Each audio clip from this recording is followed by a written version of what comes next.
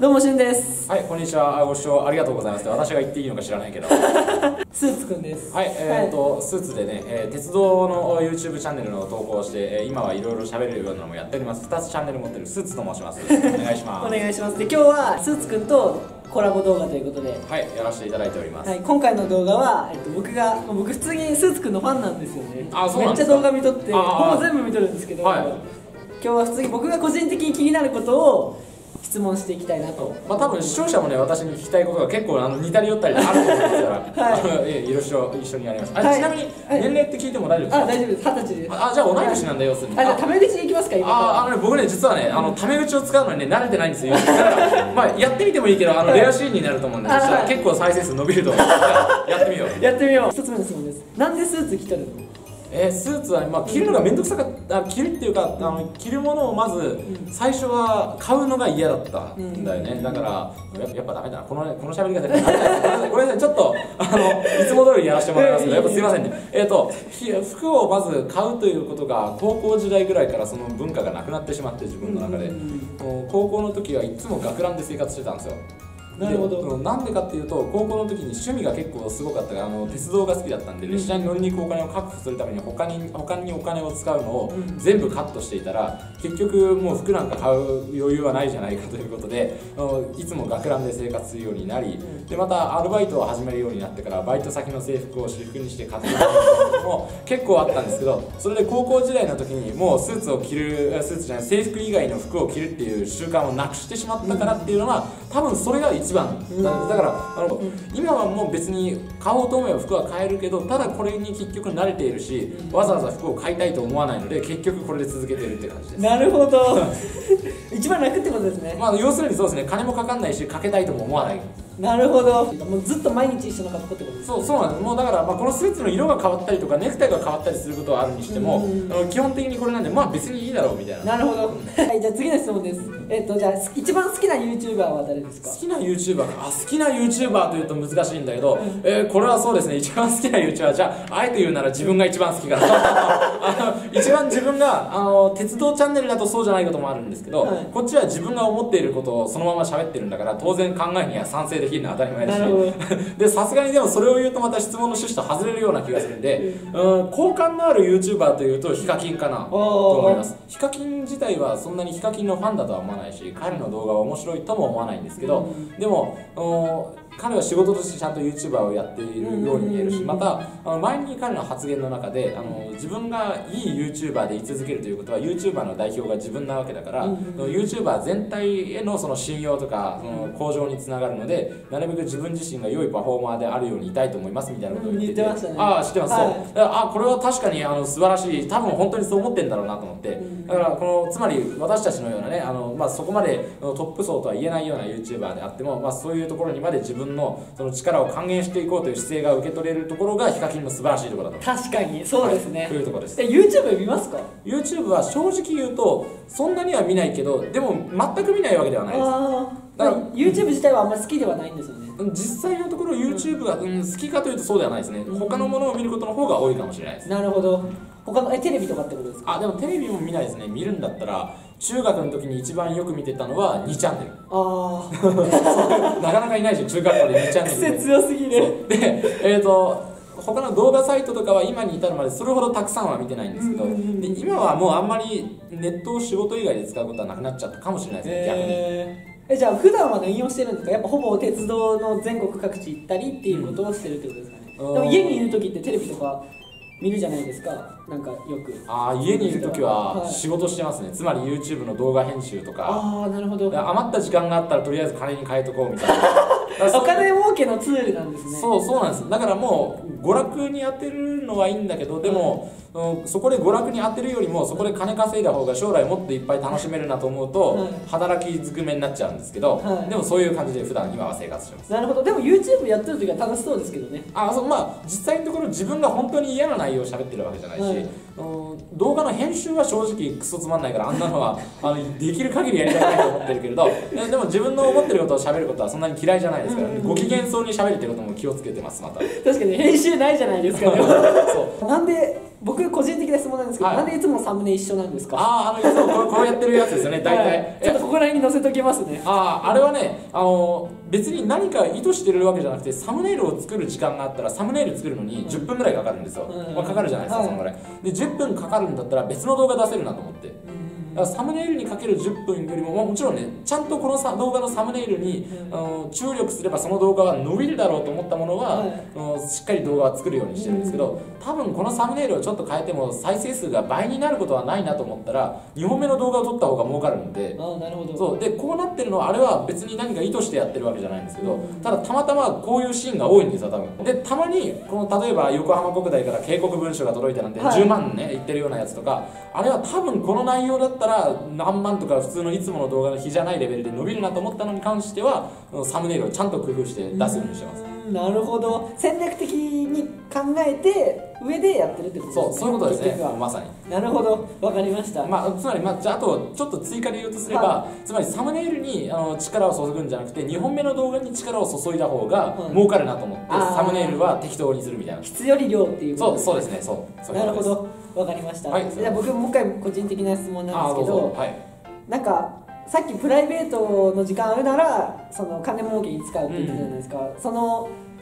恋愛とかには興味はないんですか？うーんとですね。まあじゃあこれはあのまずじゃあ恋愛というのは何なのかというと、うん。あの結婚の僕は準備だと思うんですよ、うんうんで結婚はじゃあ何かって言ったらあの将来に対する保険とかあのつまり夫婦は同一の生活水準でうんぬんみたいな法律があるから、まあ、その通りの定義通りだとすると、うつまりその女の人に自分のあのその人が多分破産レベルまで行って例えば自分が億万長者になったとしても、うん。あの気分よくその自分の蓄えた財産の半分を上げられるような人である必要があると思うんですけど、であのわざわざ恋愛というほど親密なあの関係になってで後で別れるっていうのはちょっと気まずいと思うんですよ。うんだから結婚してもいいなと思う人だったら僕は付き合ってもいいと思うんだけどなるほど。そう。でもそうじゃない人とは僕はあの何か言われても相手にしないようにしてます。えー、じゃあ例えば可愛い女の子がいたとしてもタイプの女の子がいたとしても、自分からは声かけないってことですか？あそうですね。あの声をこっちから女の人に声をかけたことはないです。なるほど、うん、で、まあ、あとかけられたとしてもつまり例えば自分が生涯、まあ、大体平均の大卒の生涯賃金って、まあ、2億何千万とかになるらしいんですけど、はい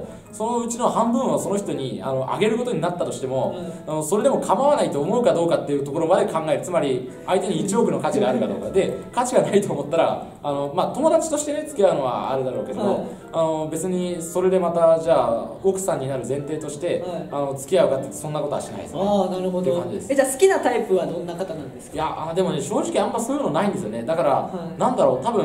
あの僕はねこんなこと言ったらクズだと思われるかもしれないけどあの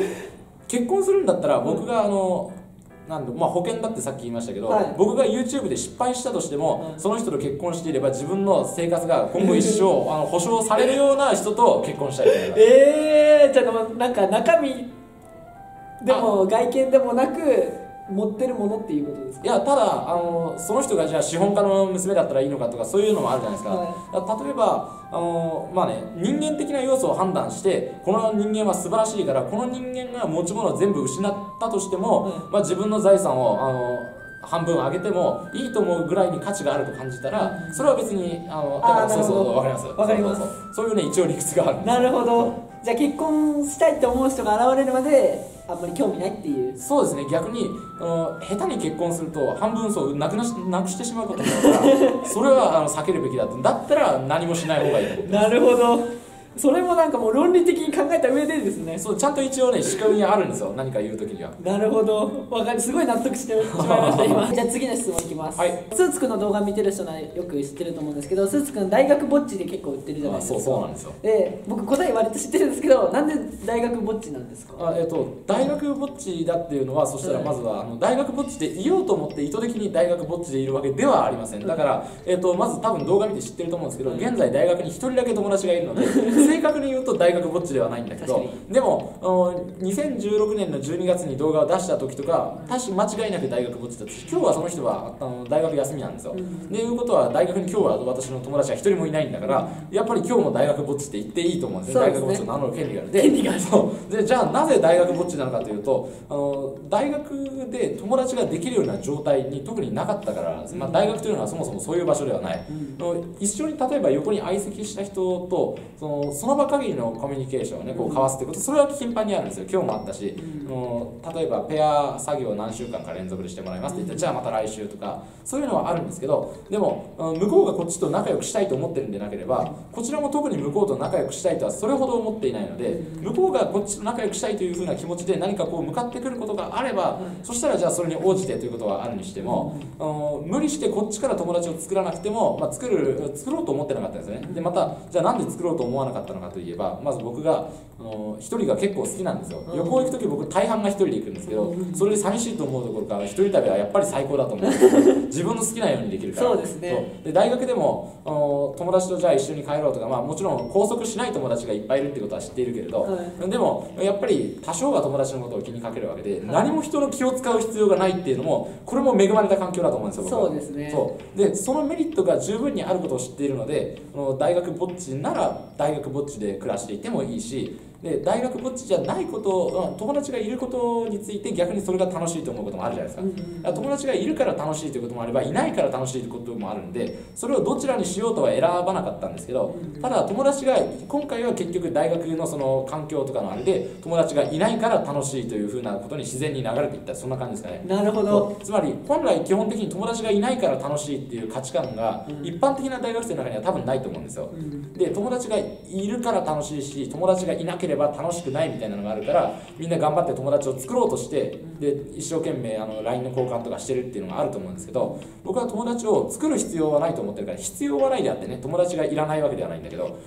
まあ大学で作る必要はないと思っていたからじゃあできなきゃできないでいいやと思ったらできなかった。そういうことですね。なるほど。本当のリア充ですよねそれが。ああまあそうですね。現実に何も不安不満はないですねそうですね。充実してますもんねリアルがそうそうなんです。まああのこれがリア充のいわゆる一般的なリア充かどうかわかんないけれど、うん、少なくとも私のリアルは充実しているというのは言えると思います。本当にそうだと思う。てかすごいいいメッセージを発信発信してますよねそういう意味では。ああよかったそう言って本当にすごいと思います尊敬しますそのああ 恐縮です。スーツくんはなんか好きで YouTube をやってるっていうよりはお金儲けのためにやってるっていう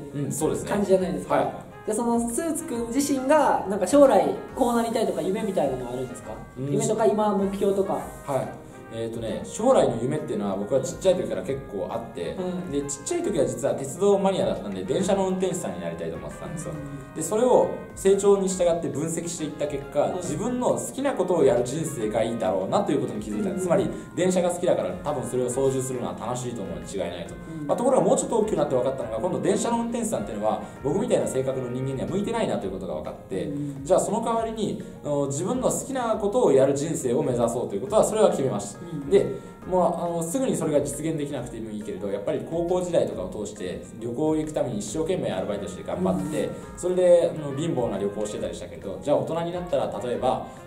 まあ、ちょっと裕福な例えば新幹線のグリーン車で行って行ったところでちょっといいホテルに泊まって美味しいものを少し食べてでのんびりその辺をタクシーとかで回って帰ってくるような旅行がしたいなというふうに思っていた。それが僕の将来の夢でした。で、まあ、仕事は仕事で別にあるのはいいけれど、まあ、休みがある程度自分の時間が確保されるような仕事をしたいなというのもまた僕の夢だったんですけど、えー、とそれを結論から言うとあの 残念ながらですねこれがもう実現されてしまいましたのでそうですよね。そうあの僕は将来の夢ということで自分の時間をある程度確保しながら、行きたい旅行にある程度お金をかけて好きなだけ行けるようなそんなあ、ねえ生活がしたいというふうにそうなりたいなと思って大学に入った時もまた努力をしていたんですけれどもところがあのここ半年間ぐらいでそれが達成されてしまって、えもう旅行は別に行こうと思えば正直いくら行ってももはや旅費なんていうのはかからないのと同じなんで、経費ですもんね。そうそうなんですよ。で結局旅行したら、まあ、しただけお金は増えるし、うん、また自分の時間がないかといえば正直言って自分の時間も結構たくさんあるし、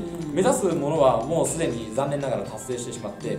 金金言ってる割にはあのお金にそんなに実はあのお金を欲しいとは思っていなくて、どっちかっていうとお金から自由になりたいからあのお金を儲けてたんですよ、でお金の心配をしたくない生活もまた確かに僕のその、まあ、もっと大きく言えば夢だったんですけど、お金の心配はもうとりあえず今のところないし、でもう全て自分の欲しいものは手に入れてしまったし 目標もないと。でしたい生活はできているからもうこれ以上自分を向上させたいというのはないのでこんなこと言ったらあれかもしれないけど今はもう僕は夢がなくもうこの夢を実現させたいというあのそうなんだろうな。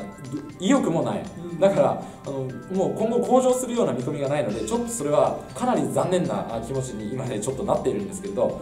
だからまあ強いて言うならばそうは言っても、はい、結構僕新しいものに興味新しいものっていうか新しく何か興味を持つことはあるので、うん、今後もしかしたらそういうのができるかもしれないし、まあ、できるだろうなと思ってます、うん、だから今のところの将来に対する最大の夢は何かといったら自分の夢を見つけることというちょっと残念なことになってしまったんですけど。でも夢を叶えた後ってことですね。そう。まあもう叶えてしまったんで、みたいな感じですね。じゃあ次は何をするかみたいな。軽く言えばそんなところかもしれないです。なるほど。わかりました。はい、はい、僕の聞きたかったことは全て聞けました。あそうですか。はい。わかりました。すごい